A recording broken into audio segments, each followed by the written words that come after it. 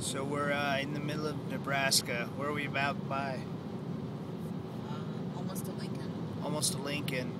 Um, we went to a, we went to Perkins, but it wasn't very good because there was like 40 people in line and two people working. So we went to Subway, and it was about the same situation. I think Nebraskans are just really slow, and um, but the Subway was good and it tasted good. So we have I still have a half of a sub left of a spicy Italian. And um, what are you doing? What are you doing? What are you doing? We see a lot of flipped over cars and uh, semi trucks from the blizzard last week, so we're we're gonna try and drive safer.